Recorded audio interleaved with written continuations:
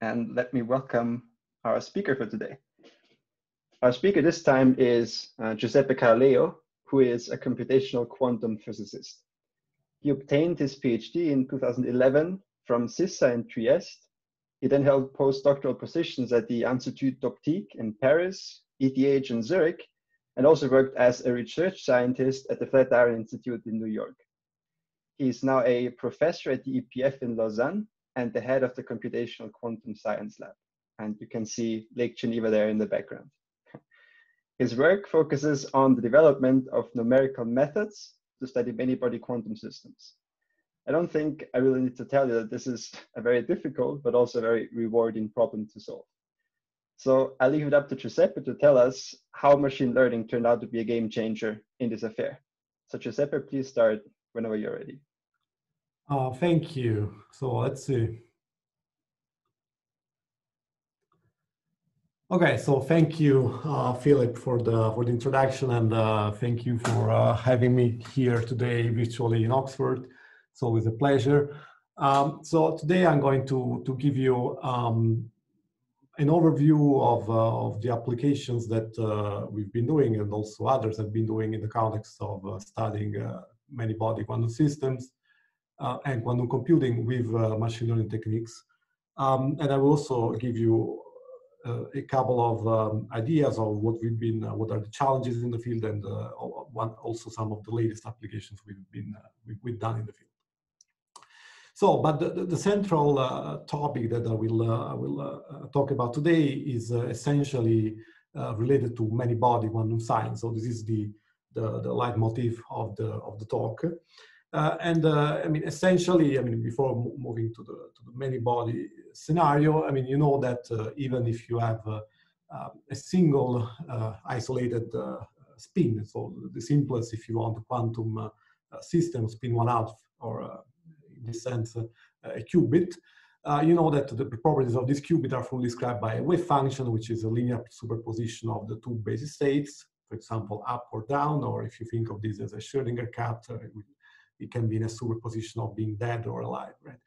And I mean, for a single qubit, this is relatively simple and theoretical in the sense that um, the only thing that you need to describe the state are essentially these two coefficients, C up and C down, that characterize, for example, uh, if you take the square of these coefficients, the probability of observing respectively the spin up or down when you make a measurement of this, uh, of this uh, I mean, the situation, however, becomes, uh, you know, uh, rather uh, intricate uh, um, when you consider instead the, many particles, many electrons, many spins in this simple uh, scenario. Uh, because in that case, I mean, even um, conceptually, there is something that inevitable that happens, which is essentially one of the postulates of quantum mechanics. And the fact is that now the state, psi, or wave function, your your state vector is a, a superposition of exponentially many possible states. Um, and uh, if you want to describe uh, theoretically, if you want uh, the properties of the system, you will need in principle to know, uh, I mean, to, to, infinite precision to some extent, all, all these two to the n coefficients.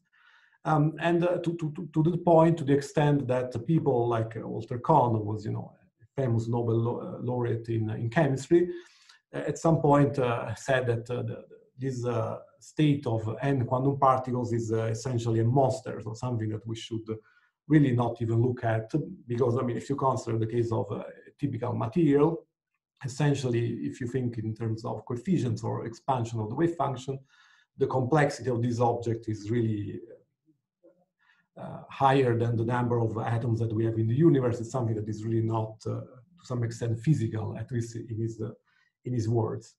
Uh, I still believe that the wave function is a valid description of, the, of nature, uh, but it's clear that uh, this uh, uh, exponential complexity reflects in, in a lot of issues that we have in, in, several fields, starting from chemistry to, to, to condensed matter physics, but even quantum computing.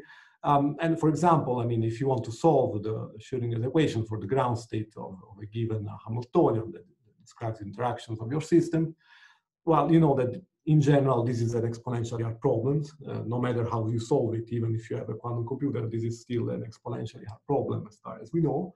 Um, and uh, you know, even uh, apart from these, uh, you know, standard classical problems, there are also other problems, more subtle, but they are still exponentially scaling, uh, essentially because of this complexity of the wave function. For example, if you try to prepare a certain quantum state uh, with a quantum circuit, so if you have a quantum computer and your goal is to prepare a certain quantum state, then in general, for the most general state, we know that this task is exponentially complex, and this is again also a consequence of this uh, original proliferation of coefficients, if you want, in the, in the wave function. Um, but uh, I mean, uh, in general, I mean, and, and, again, if you think about uh, even worse, solving uh, problems uh, in condensed matter or in chemistry using classical computers, just in terms of storage, this is essentially a hard problem because if you wanted to store the wave function of you know 54 qubits, you will need essentially all the memory of the largest supercomputer we have to date.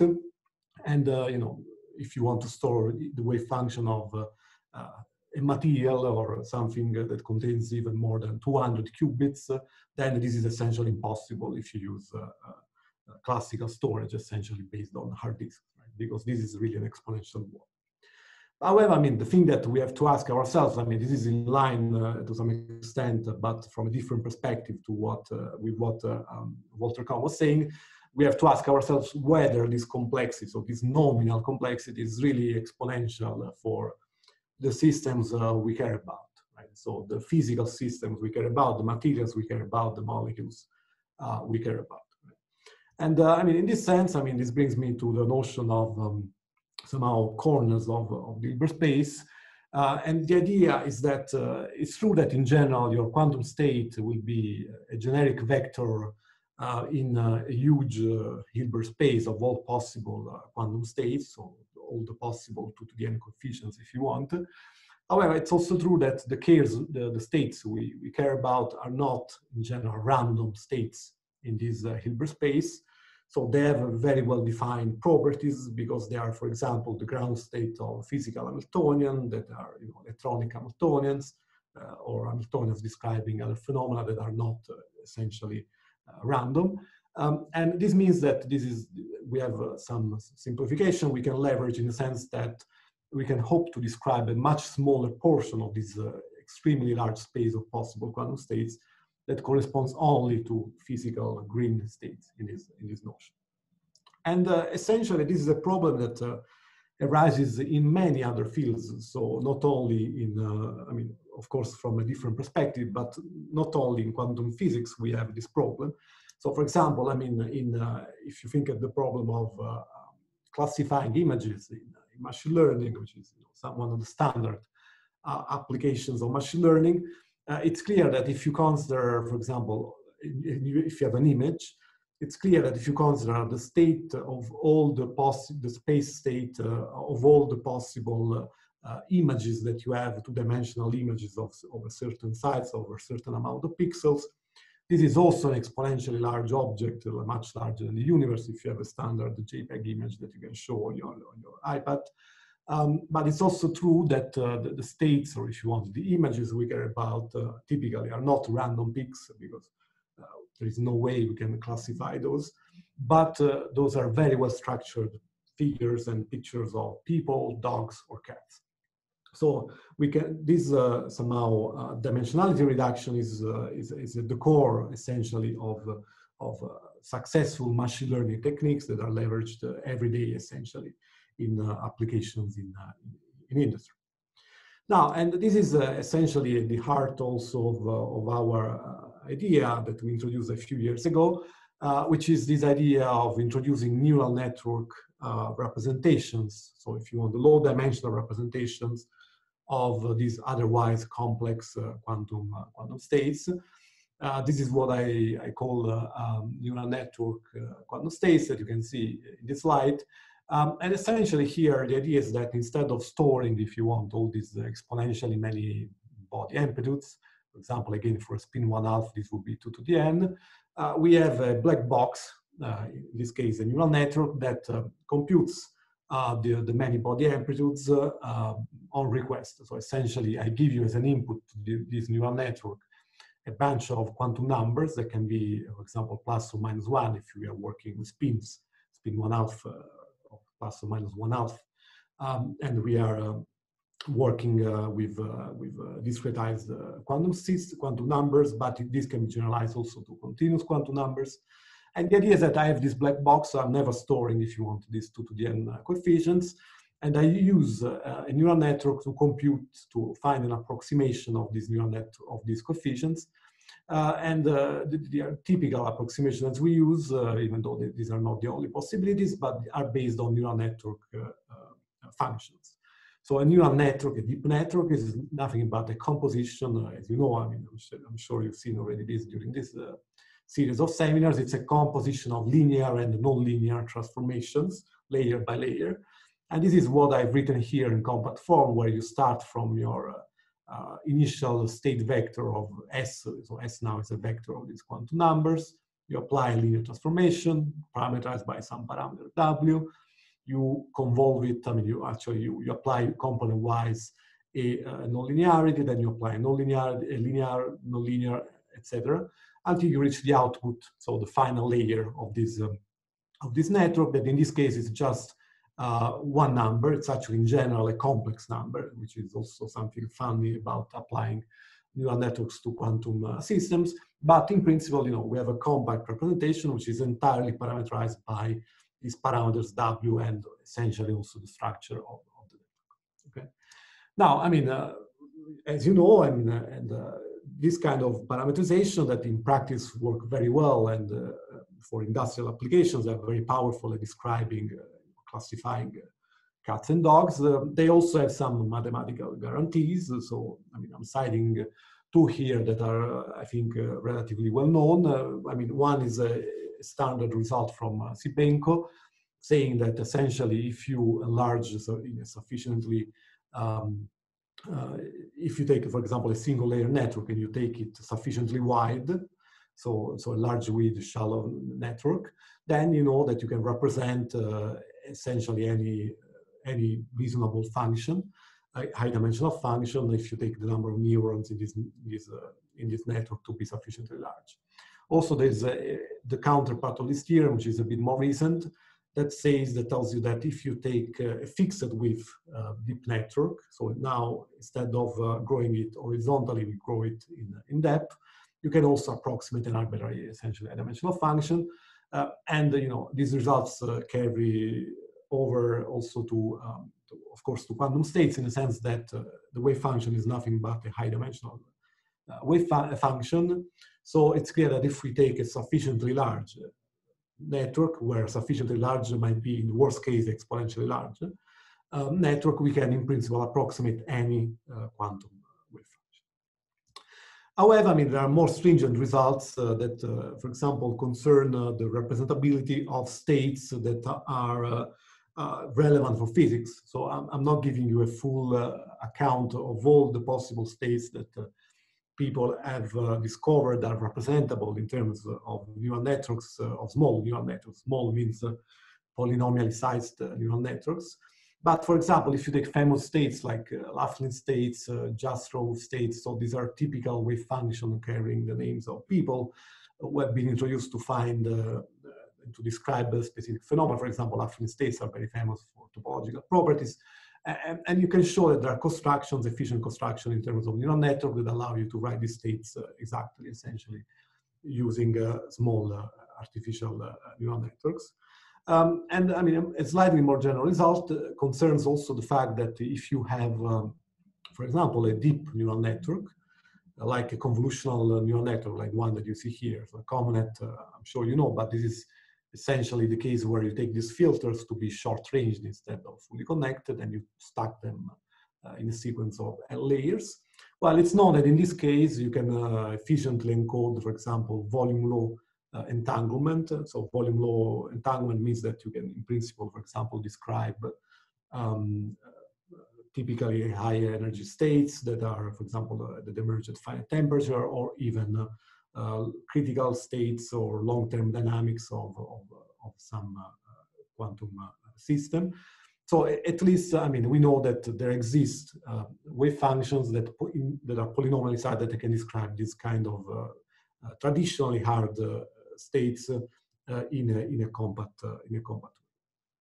Now, um, once we have uh, a, a um, an ansatz somehow for, for the wave function, it's clear that we can do several things with these ansatz.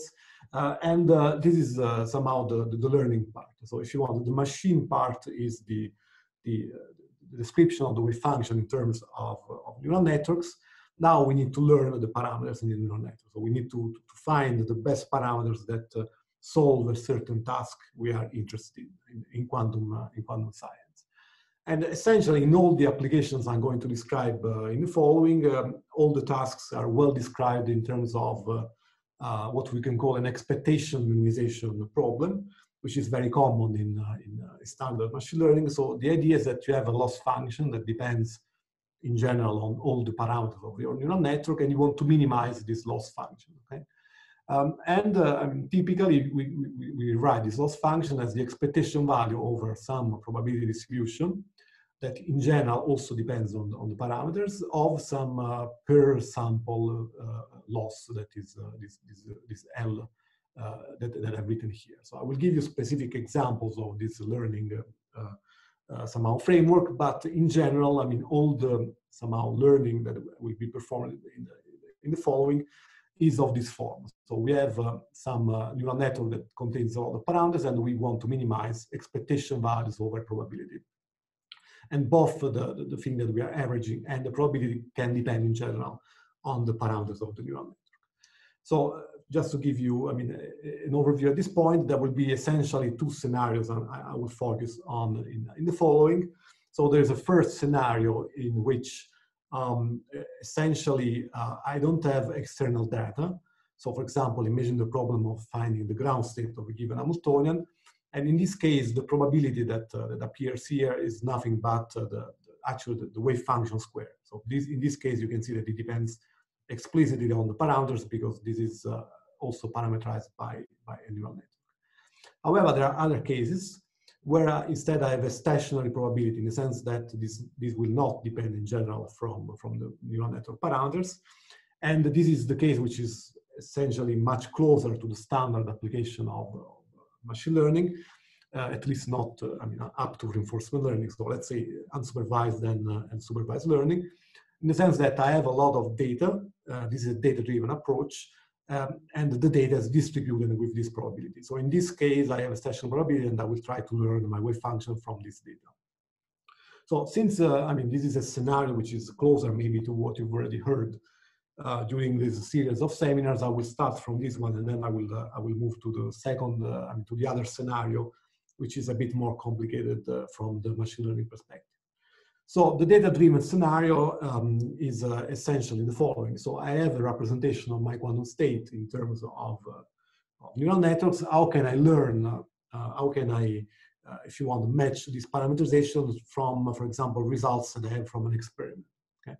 So what are the experiments that I have in mind here? So for example, I have in mind things like um, uh, quantum gas microscopy experiments that can be performed in uh, uh, with uh, ultra cold atoms, or, or I have in mind uh, uh, even quantum computers. So in all these settings, you can what you do is that you can perform a so-called projective measurement of your system, in the sense that every time you image the system, for example, with a microscope, you will find that your atoms are sitting here, here, or there, and these are really like individual atoms in your in your uh, system. And uh, of course, since uh, quantum mechanics is probabilistic, every time you repeat this measurement, you will find a different outcome for the, the positions of your of your atoms. And what we know from the postulates of quantum mechanics is that these positions, for example, in this case, will be uh, distributing according to, to psi square or phi square in this, uh, now I change notation, which is essentially the wave function of, of the system. Okay. Um, now, uh, an important uh, difference, I mean, an important feature, if you want, of quantum mechanics is that we can perform measurements in different bases. So instead of measuring, for example, only in the sigma z basis, uh, as we, we are doing, for example, in the case of, uh, uh, or in the position basis, as we are doing for, for electrons or for uh, uh, for, for ultra cold atoms, we could, for example, image the system in momentum basis, so measure the velocities of the system, or a composition of the two uh, bases, right? And typically, this is important because it will give access not only to the square of the wave function, but also to information about the, the phase of the wave function, right? That otherwise would be impossible to infer just from these images. So this is the concept of the tomography in, uh, in uh, for example, in quantum optics or in quantum computing. Uh, and this is what we also used in, in this paper somehow to, to, to, learn our wave functions. So the idea is that uh, I obtain measurements, I, I, obtain images, snapshots of my system in different bases B that I have access to, for example, in, with my microscope. Uh, and then what we do is that uh, we try to match this uh, probability distribution in all the different bases I have access to uh, in my experiment. And uh, essentially each uh, wave function in the different bases is just a unitary rotation of the wave function in the, in the main basis, in the so-called computational basis. So these are objects that typically can be computed in most cases efficiently.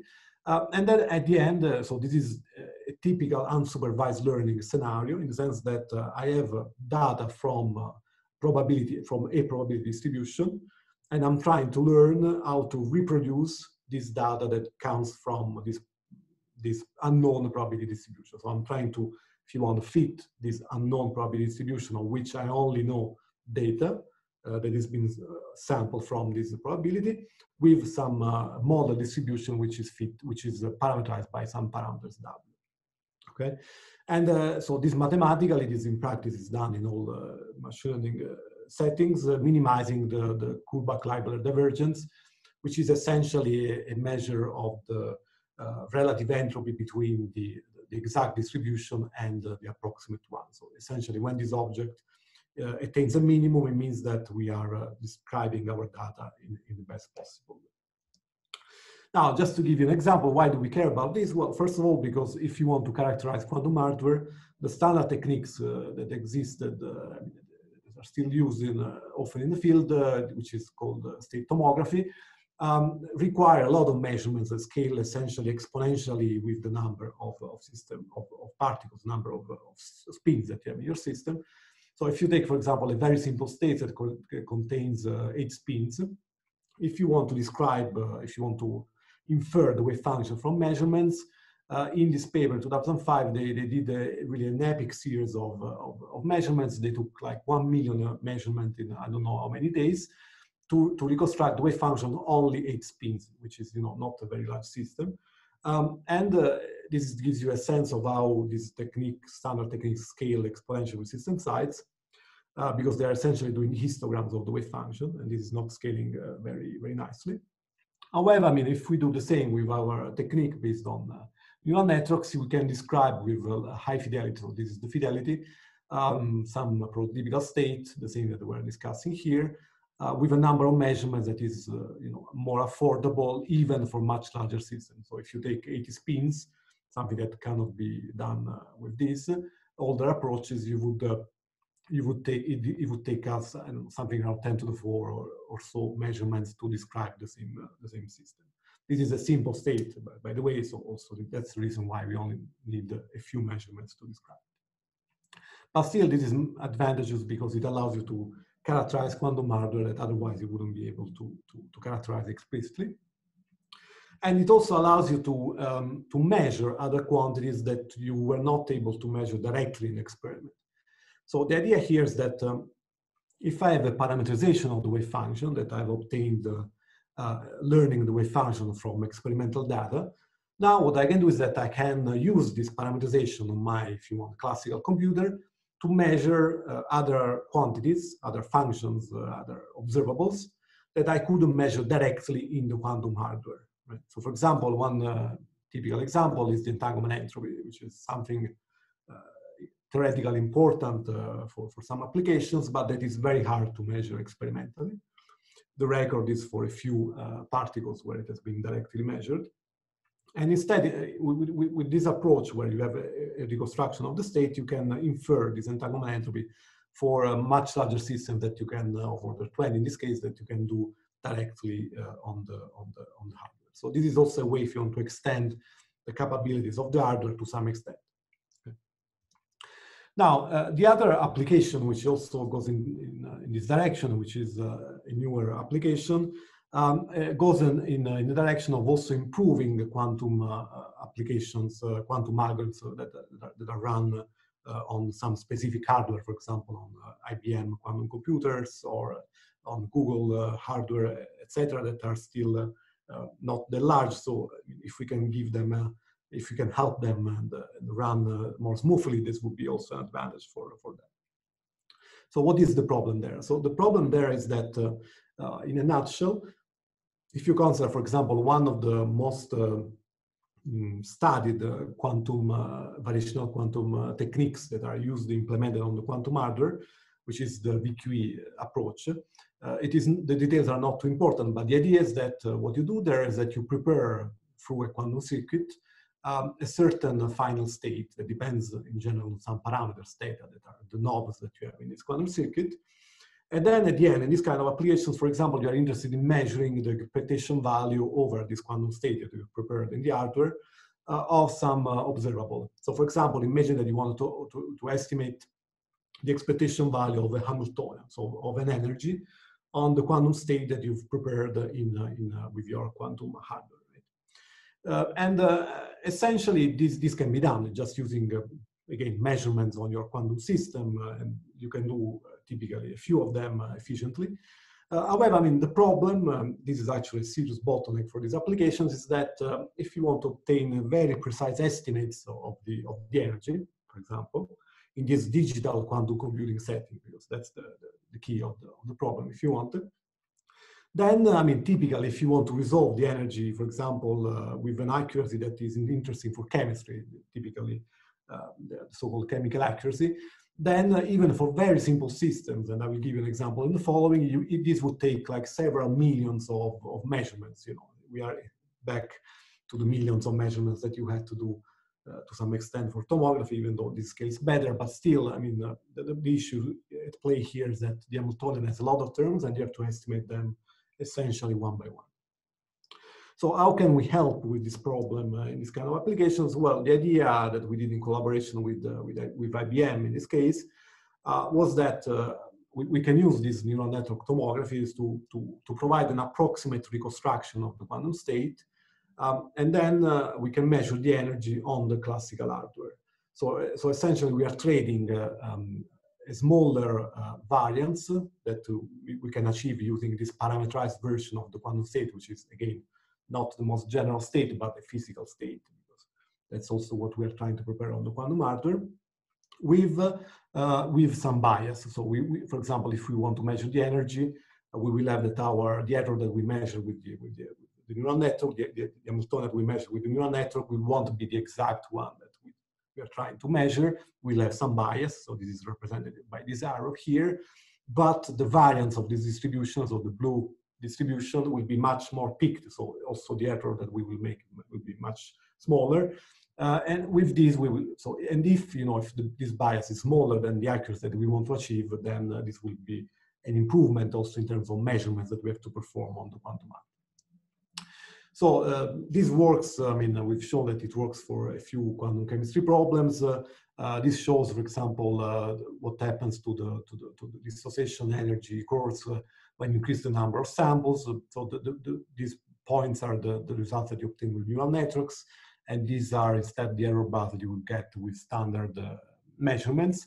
From this plot, it's not too clear, but if you look at, for example, what is the probability of hitting chemical accuracy with a certain uh, number of measurements uh, with the standard approach. So for example, uh, so these are the continuous line, you would say that even for relatively small molecules, for example, H2, and if you take a sufficiently large basis set, uh, it, it, would take you essentially a number of measurements, which is in uh, almost in 10 to the 8, if you want to achieve uh, chemical accuracies on a very simple molecule, which is H2. Okay?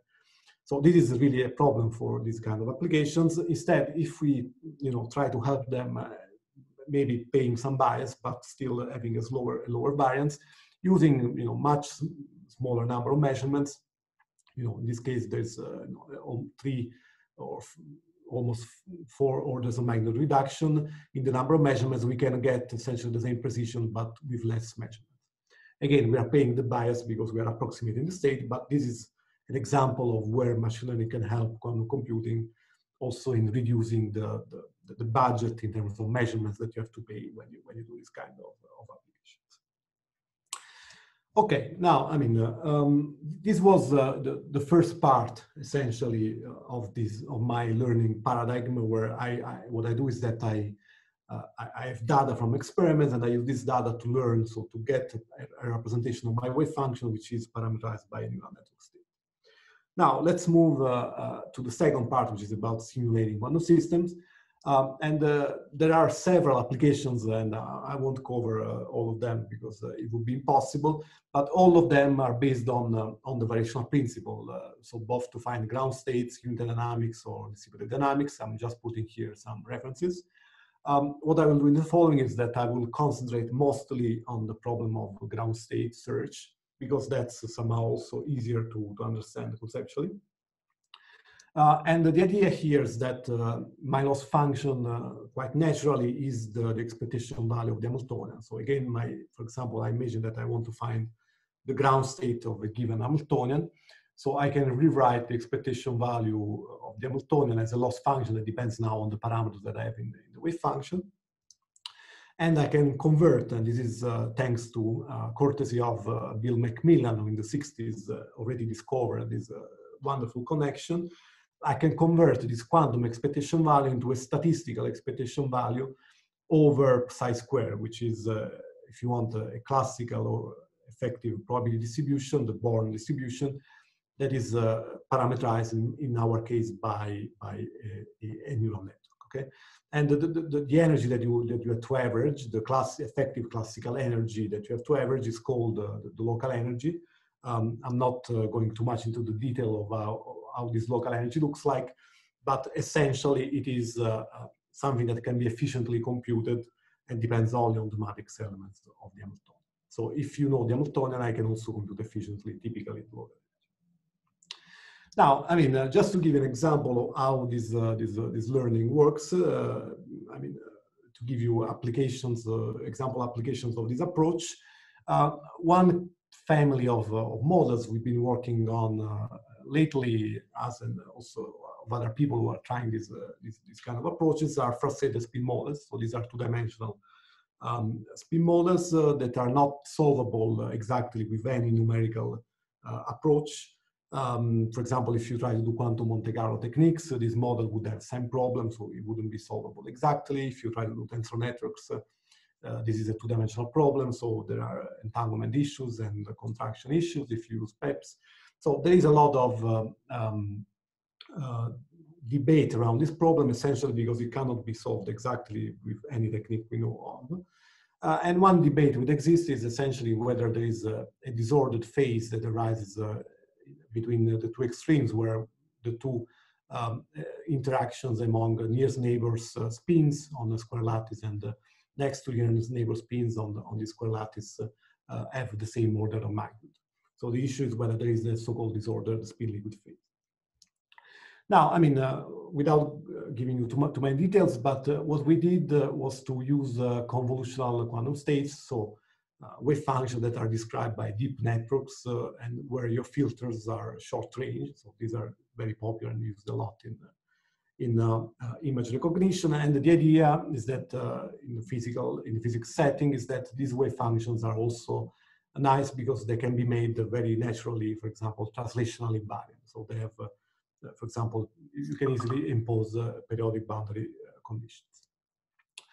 Now, to give you an idea of uh, how well these things perform in practice, uh, I can you I can uh, I can give you a comparison with the early results that we obtained in 2016 using shallow neural networks. So these are the RBM results in our first paper where we used just one layer of, of, of one layer neural networks, and uh, but these were long range, so these are these are restricted Boltzmann machines.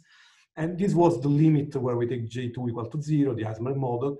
Um, and this is the energy that you, the error that you make on the error on the ground state uh, um, as a function of uh, uh of of the of the essentially of the weave of, of, the network. Okay, and at that time we were able to achieve an accuracy of the order of 10 to the minus three or so. Now, if we go deeper, so if we use these uh, convnets that have uh, four or five layers, so these are not super deep uh, neural networks, you, you get here, so in the 10 to the minus four, so almost um, one order of magnitude improvement. And if you go actually deeper, so if we, this paper that's a recent development, uh, and you use, for example, uh, what we call autoregressive states uh, that allow us to exploit more efficiently actual deep networks, you get and you get an accuracy which is well beyond what could be done before, and it's uh, it's independent minus five. So at this point, essentially, you get an, ac an almost to all purposes uh, exact description of the wave function of, of this uh, interacting two-dimensional system. But I mean, coming back to the problem where we, we introduce uh, J2 now, so where we introduce uh, uh, this frustration, which is the, where the, uh, we, we, we, break somehow the, the exact uh, possi the possibility of solving this problem exactly, for example, with, uh, with quantum Monte Carlo. Well, when we, we turn on J2, the only thing that we can do is to compare our energies to other techniques that are variational, for example, uh, matrix states, DMRG, or other variational approaches based on fermionic wave functions. Uh, and in general, what I'm plotting here is the difference of energies between our CNN uh, results and uh, the original uh, and these other approaches. That and this model has been studied for over 20 years, so it's really a very hard problem, and uh, uh, there is no total consensus on the phase diagram. And you can see that on almost the phase diagram, we get energies that are better, typically in the sense that are lower than these other approaches. However, there, are, there is a region uh, typically in the middle here on the spectrum of, of this J2 where our approach, this NQS, neural network quantum states, is still not uh, as accurate as, as much as we would like. Um, the main reason why this is the case uh, is related to, to the fact that uh, uh we have essentially um, a few issues that are related to the um, mostly to the symmetry. So one issue that we that, that is known for these neural network quantum states is to, to, up to this point is that, for example, we don't know how to impose efficiently SU2 symmetry uh, in two-dimensional uh, systems. Um, and also, um, one other reason is that uh, in the presence of frustration, the number of samples that you need to describe these systems can become quite large. So in this sense, we are limited by these two factors but both factors, you know, is something that can be improved, and we believe that in the, in the near future you should be able also to to get essentially state of the art on all the phase diagram of this model. Now, um, in the last uh, few minutes, uh, I wanted also to give you a more recent uh, uh application of these ideas, mean, even though this is uh, still 2019, but more recent, uh, um, which is about another kind of simulation that we also care about in, uh, in this framework, which is about simulating, if you want, classically. Uh, you know, I have this neural network, and now my goal would be to simulate classically a quantum circuit. So if you want, I would like to, to emulate as much as possible um, uh, a quantum computer using a, a, classical neural network. So without ever building, if you want, the, the quantum computer. Right? So and the, the task is um, then uh, to reproduce, if you want, to approximate a quantum circuit classically and what we can ask is how far can we go? So essentially, how big are the systems we can simulate and what are the circuits that we can simulate? Right? So this is uh, uh, the, the, the, essentially the, the, the, things that you need to do when you have a quantum circuit. So the thing that you have to do is to, um, to, to, to, be able uh, to, to approximate a sequence the action of several building blocks that are called quantum gates in quantum computing quantum computing, for example, uh, we, know that if you are able to approximate the action of these three building blocks, so for example, single qubit rotations, Hadamard gates, two qubit control Z rotations, well, then you are able to simulate an arbitrary uh, quantum uh, algorithm. Uh, and uh, then, I mean, it can be shown, this is done, for example, in this paper of ours, that if you try to apply these, these, um, um, these gates on, for example, a simple neural network that, that has only uh, one, uh, one layer, so for example, an RBM, uh, almost all of these layers of, of, these gates can be applied exactly. Exactly means that you get out another network which is not too large compared to the initial uh, starting network. Um, the only, I mean, even including entangling gates, which are, I mean, less trivial, but the thing that happens is that if you try to apply Hadamard gate, which is a superposition gate, then uh, you won't be able to describe uh, the final state, so the output state, exactly as an artificial neural network. So this is the, the origin of the of, of the issue, if you want, in, uh, in, in this problem. Uh, but what we can do, and this is also somehow at the heart of this uh, loss function approach that I've been discussing so far, uh, is that we can use a variational approach. So essentially, every time we want to apply this uh, complicated uh, for us Hadamard gate, uh, instead of applying it exactly, since we cannot represent, if you want, the state phi with a neural network, if my initial state is this psi w, which is a neural network, well, what we do is that we can try to approximate this final state phi as much as possible with another neural network that has in general some other weights w prime, okay? So this is now my variational principle. So I, will try to match these two states, for example, minimizing some distance between these two states that can be typically the, the infidelity or the fidelity if you want. Uh, I, I, will maximize the fidelity.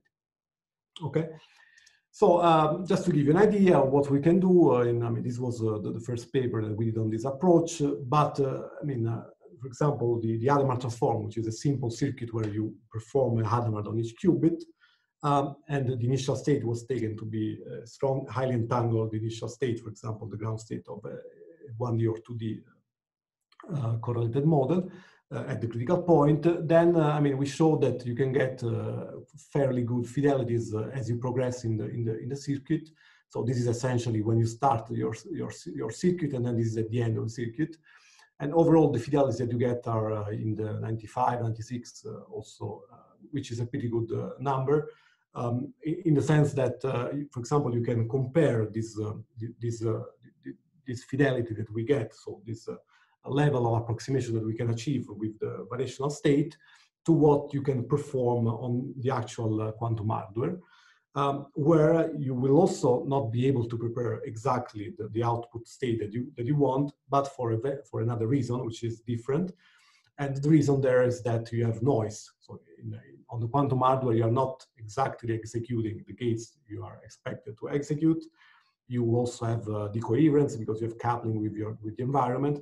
So you will have some intrinsic noise level on the hardware that can be you know, modeled, for example, with this depolarization noise. Um, and what we can do essentially is that we can compare the, the, the, the noise, uh, so to speak, that we have, that, but it's not noise, it's uh, essentially a variational error that we have in our system to the noise uh, that you have on the hardware. And I mean, for this circuit that we studied, I mean, this is not a general uh, somehow theorem, but uh, an application that we did, you can see that uh, if you want to achieve the same accuracy that we have on the on the on the um, in uh, in uh, with the RBM, which is this uh, this uh, vertical line. Again, this is a very simple minded neural network. Using better neural networks, you can improve the, the this uh, this figure. But essentially, the, the, noise level that you have on the hardware is of the order 10 to the minus 3, which is, you know, a pretty relatively low noise even if compared with, with modern hardware. So essentially, if you take a neural network, you can get a quantum computer, which for these applications has a noise level which is better or uh, comparable to what you get uh, these days on uh, in, uh, out there for, for quantum systems. Uh, and uh, I mean, this can be generalized, and we, we've used this also to more complicated circuits than just a single Hadamard transform there is this technique that is called uh, QAOA. It's a complex circuit. I'm, I will not go into the details because this is not uh, a quantum computing uh, um, meeting, but uh, this is essentially also a very interesting circuit because it's, uh, it's supposed to be one of the earlier applications where you can uh, try to solve a classical optimization problem using a quantum computer. So the question that we asked was, can we simulate this classically without building a quantum computer? Um, the answer is that for some uh, circuits, uh, for some um, problems, uh, uh we show that we can do this uh, quite accurately. Um, for example, uh, what I'm showing here is this cost function, which is essentially what you try to get out of these quantum circuits as a function of the, of the parameters in the, in the, in the quantum circuit. And we, we, we, can match what can be done on, the, on the exact circuit which is this, uh, this blue line with, uh, with our RBM, which is again a very simple neural network. Um, but uh, of course, this is not a general statement. It says that there are cases where our fidelity drops. for example, when you go in some regimes of the circuits that are uh, too random, for example, to be described by the neural network. But I mean, in general, um, I, I, would argue that uh, in the regimes that are uh, meaningful for the applications of these quantum techniques, uh, a classical neural network, I mean, until now, um, is enough to describe uh, or, or to do even better than most hardware that is implemented uh, out there in, uh, in you know, in, in the labs that, that implement that have quantum Okay? Um, so, for example, this is a simulation that we did for 54 qubits, um, and you know, as far as we know, there's no um, there's no way to simulate this uh, efficiently with other approaches. For example, if you compare this to, to neural network simulation, um, tensor network simulations, you can show that essentially to, to simulate the same uh, circuits with the same uh, accuracy that you have um, with these simple neural networks, you will need uh, a tensor network, so an MPS, which is uh, extremely large, um, with a bond dimension for, for the expert in the audience of 10 to the 5, which is typically not manageable uh, in a reasonable amount of times. So this is just to say that uh, typically uh, we can exploit the fact that these uh, states can encode uh, large amount of entanglements to describe some states. So for example, states that come out of these uh, complex quantum circuits that are typically not uh, efficiently, at least, describable by other states, for example, like tensor networks, that instead are typically limited by, by, by entanglements. Okay, so with this, I, I, um, I, I will conclude. Uh, I will just flash here a slide on, on the software that we use and that we develop uh, here now at EPFL. Um, it's called NetKet. If you're interested, you can have a look at this. It's in Python and it allows you to, um, to express your learning tasks in quantum physics using uh, complex, uh, valued, typically, uh, neural networks. Um, uh, and uh, there is a lot of open challenges in the field. Uh, I think that one of the most uh, uh, important uh, challenges from a theoretical point of view is essentially to understand, to better understand how complex are the states that we can learn using wave functions. So this is a wider problem if you want, but I think that in the context of quantum physics, it's really something that we should try to uh, to understand from the point of view perspective or quantum perspective. Um, and uh, I think that uh, in this sense, we should try to find a, a, measure of complexity. So essentially quantify how complex is a quantum states that goes beyond, for example, entanglement entropy, which is a measure that is usually used in the community. Uh, and uh, because entanglement entropy, as we've seen, is not a limiting factor, at least in theory, to describe um, a quantum state with a neural network. So there must be some other measure of complexity that enters the game, but this is still largely unknown, I have to say. And from the theoretical point of view, this is uh, a little bit uh, um, unsatisfactory. So it will, it will be very important to work on this theoretical uh, problem. And you know, a little bit provocative. This is a provocatory statement, if you want. Something that uh, I wonder is whether we can replace it uh, entirely, if you want, quantum computers uh, uh, with classical neural networks to, to simulate useful quantum algorithms, not only this QAOA, but also others. So to what extent this is true and how far can we go, I would say that this is completely wide open and there's only a few works on this and uh, it would be interesting to extend this uh, a lot uh, beyond what has already been done. And, you know, there's a lot of other problems, uh, mostly related with symmetries. Uh, I didn't even discuss about fermions, but this is an exploding field where there's a lot of uh, contributions that have been done uh, in, in, the, in the past years uh, in, uh, in the field. So thank you. I will be happy to, to take questions. Thank you. Wonderful. Thanks a lot, Giuseppe. That was really, really interesting. Thanks a lot. questions? If people have questions, then please either raise your hand or write them in the chat window and I'll read them out for you.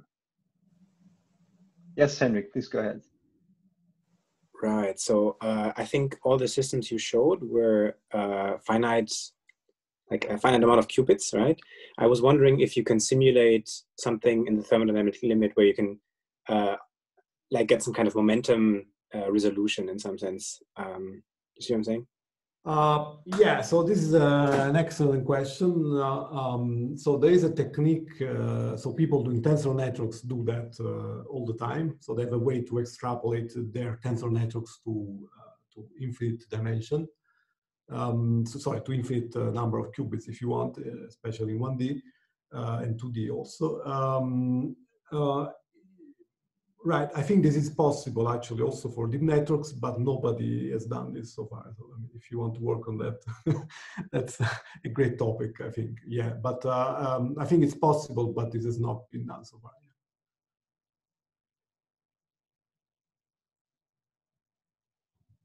Yeah, I also have a question on when you spoke about state tomography.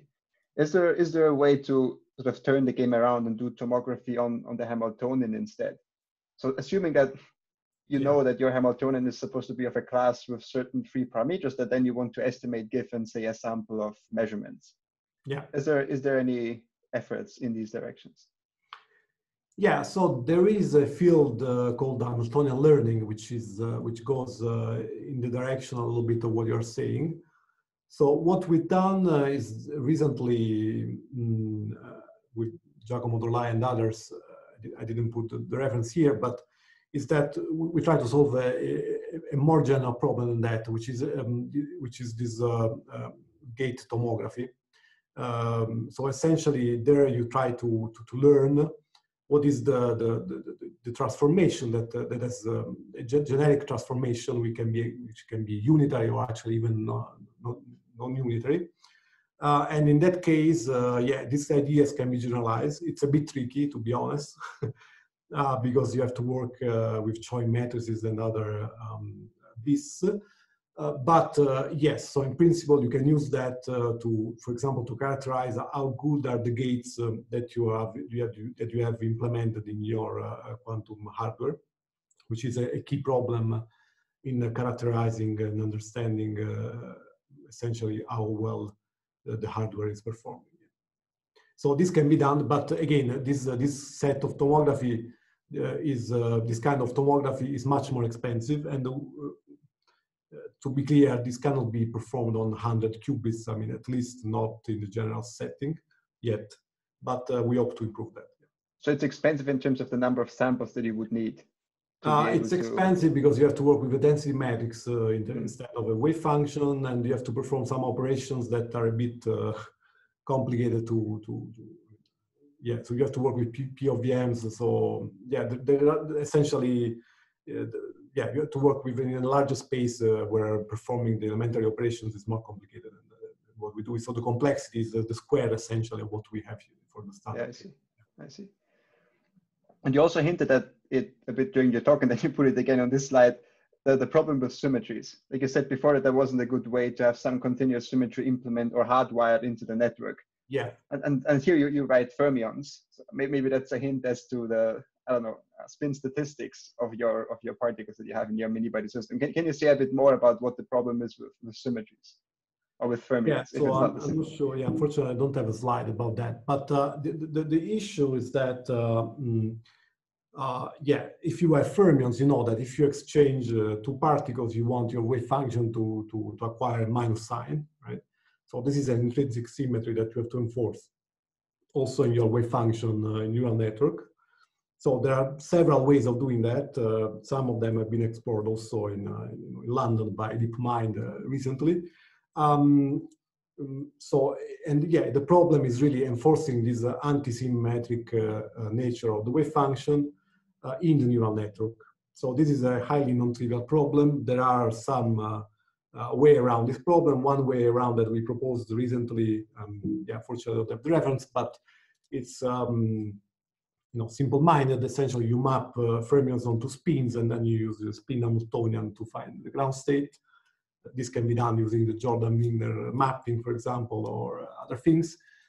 Uh, but this kind of approach is not essential, not always, uh, you know, sensible um, because uh, um, uh, typically maps uh, a local Hamiltonian, fermionic Hamiltonian. For example, if you have a Hubbard model, say, to a very non-local spin Hamiltonian that takes into account these exchanges. And this is not uh, the best uh, thing you can do if you have symmetries like translations and other things in the, in the system. So um, essentially combining these two, let's say, for example, rotational, translational symmetry, and fermionic symmetries in at once in the most general neural network, this is, uh, I would say, an open problem. I see. And a very important one. Yeah. very nice. Okay, any more questions? Anybody?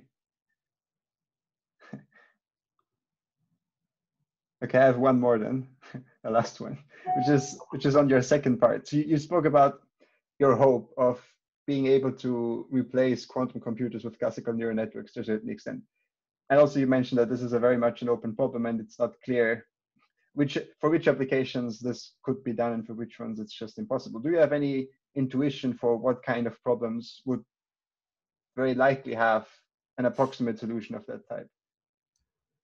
Yeah, so um, uh, yes, so so if your task is uh, um, performing a random uh, quantum circuit, which is uh, a task that uh, yeah, I was thinking about one. unfortunately, very popular these days.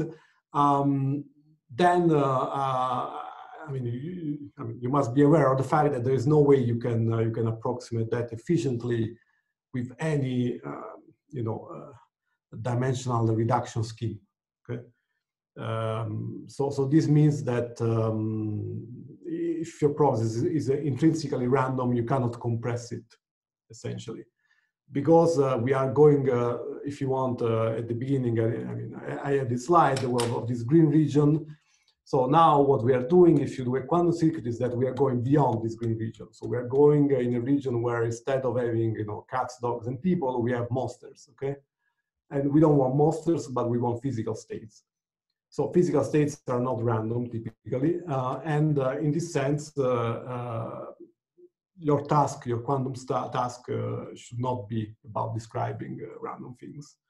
So if it is about describing the ground state of a physical Hamiltonian, then I would say that there is hope we can simulate the resulting quantum state.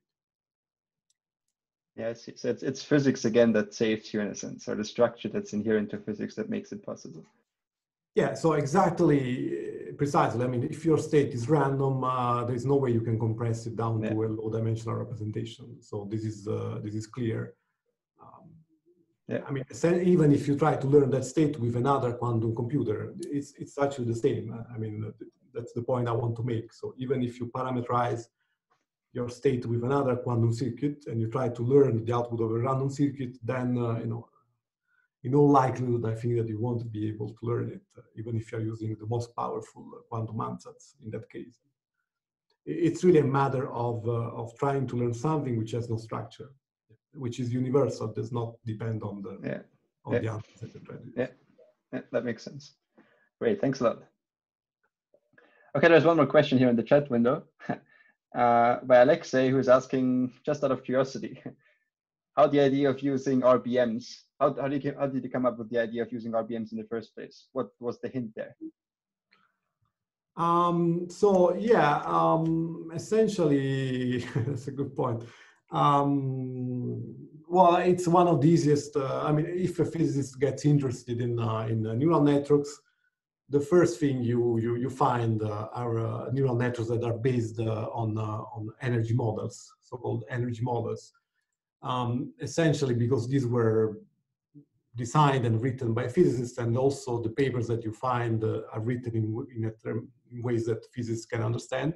So the first time I, I got interested in uh, neural networks, um, uh, it was kind of natural to instead of going directly into deep networks, uh, deep, deep learning, I, I I mean, I, I, read what was easier for me to understand that were essentially Boltzmann weights. Uh, and uh, that's why I mean, I, I, got interested in RBMs. I mean, I love RBMs, but again, I mean, at some point we, uh, we ditched them and we moved on to, um, to deeper states, unfortunately, because they are uh, also more expressive, as you've seen from the results. But it's clear, it's true that RBMs are nice because it allows you also to do a lot of analytic uh, calculations that you can't do with, uh, with deep states. Okay, great. So if there's no more questions, then let me thank you once again on behalf of the entire audience for the wonderful talk. I learned a lot. So Thank thanks very much. And the recording will be available on YouTube very soon for those who want to come back. Thanks a lot. Thank and you. Goodbye. Goodbye. See you next week.